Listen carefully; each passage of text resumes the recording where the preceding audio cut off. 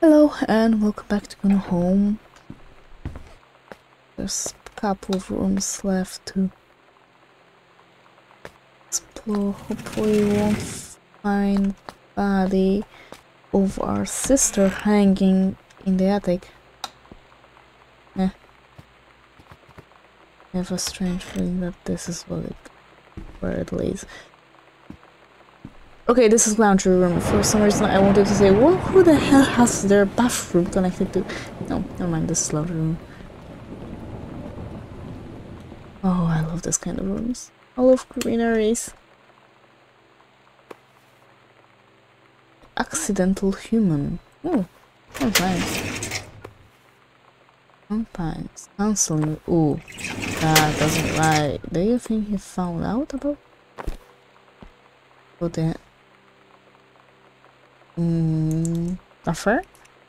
From the pen of Terrence L. Greenbriar, dear Cass, I can tell you what a joy it is to see John Russell back in print. Thank you very much for see sending along copies of the new edit editions. The cover art is really something. I know you've said that Unknown Dimension isn't the business isn't in the business of printing new material, but this revived interest in my work has brought on a wave of inspiration, resulting in a manuscript to complete John Russell's journey, which I think you may find intriguing. It is reflective and introspective, without forgetting the excitement and weirdness that the no dimension readers expect. I hope this might be an exciting new direction for Unknown Dimension to pursue. At the very last, least, I am grateful that John Russell's adventure didn't come to an end quite when I thought they had.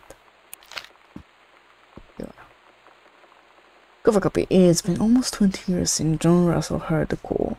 Twice he saved the president's life. He's practically forgotten the days of the future, of danger and excitement.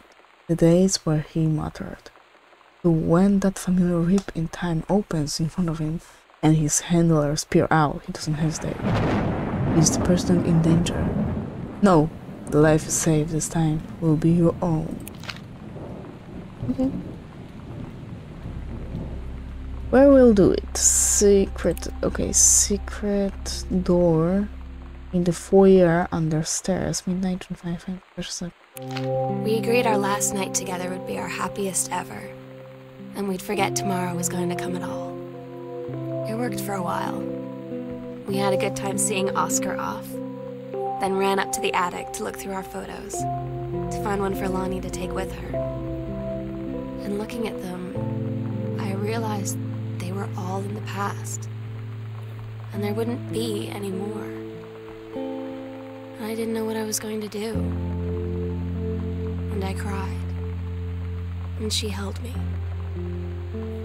She said she knew it was hard, but life would move on. I said I didn't want my life to keep moving without her. That's when she cried too.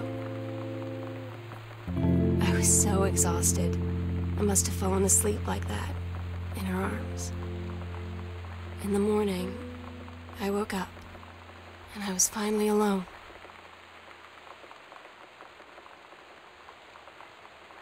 Okay, I'm writing it down. 196. Wait. I know it's on the pharmacy, but I must get a plate of, of paper, I don't know.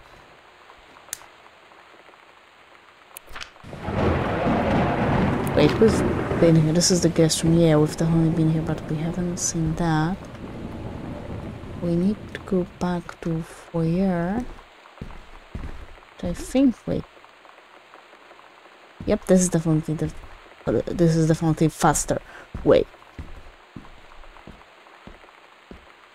We're already down on the ground level, not in level, not in the basement level, probably. And all you have to do is look for a secret passage over here. I those. God freaking damn it, I hate you guys. Yep. Oscar.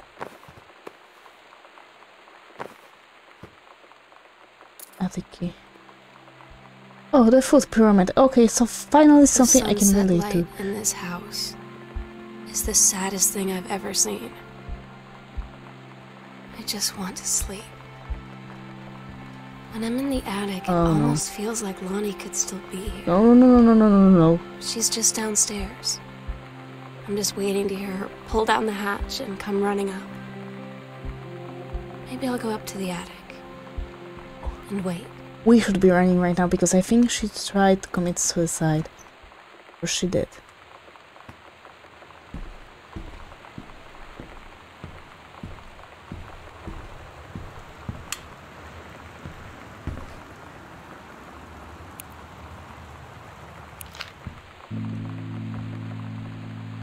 Oh my god. Katie. I, I fell asleep in the attic, in Lonnie and my old spot, and I missed the first two calls. I just barely caught the third one before the machine got it. And it was Lonnie, on a payphone. She'd been on the bus to Basic, and she said she couldn't. She couldn't think of anything but me and us, and that she couldn't go through with it with the army and being a part and all of it. And so she got off the bus in Salem. She said, Sam, I want you to pack up everything you can and get in your car and come find me. And let's just drive until we find somewhere for us. And she asked me if I could do that. And I said yes. Yes.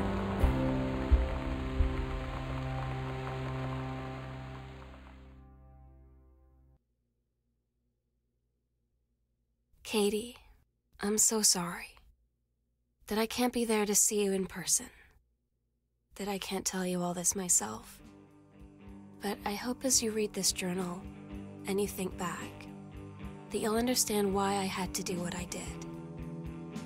And that you won't be sad, and you won't hate me, and you'll just know that I am where I need to be.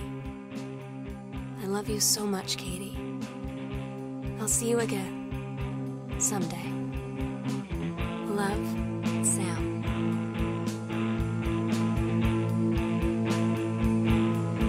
Okay, all in all,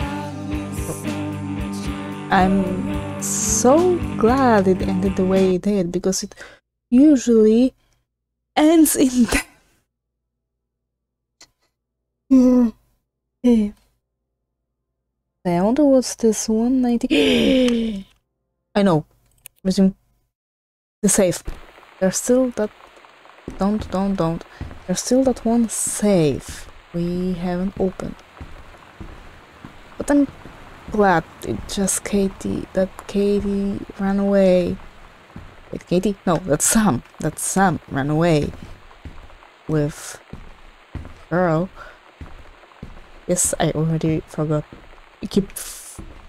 Ah, I forget names. Okay, I'm very bad with names. When plus I'm stressed out because we have to walk through wolf. Yep. Uh, so where the hell is that thing?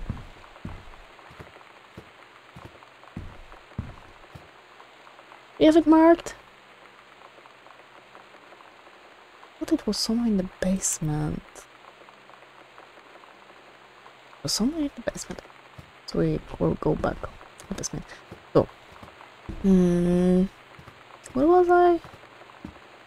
Uh, yeah, I'm glad that it turned out that she didn't kill herself.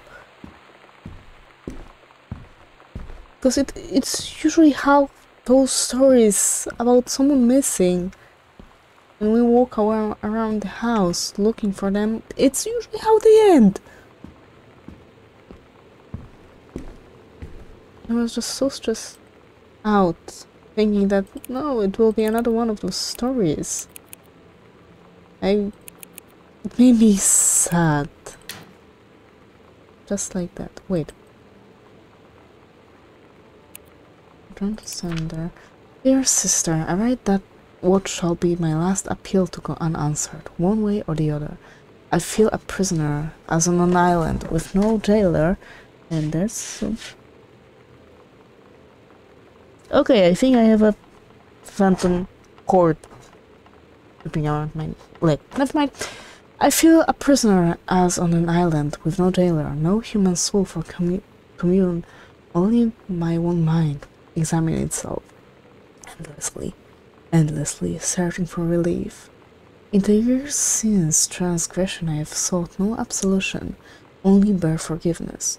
In good faith, I have removed myself from all, from all temptation, sacrificed to prove my commitment however I can imagine. Since mother's passing, I have yearned for nothing more than the acknowledgement of my own kin, to be treated as human again, to breathe the air of human spirit once more. By grace, even a wretch, wretch like me could be saved. They do not expect it. If not response is received, I shall henceforth accept my sentence and one day simply cease to be. Brother's love always. Oscar Masan.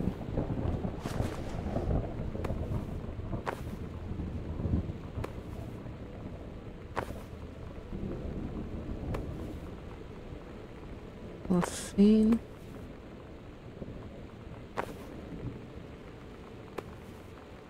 Oh no. Okay, this amount of morphine should be able to person iron bile salts.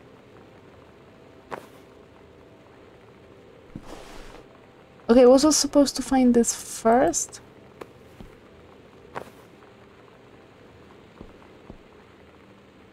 Okay, I think I must might have messed up the I think I was supposed to find this first. Be even more concerned for the sister. I don't know.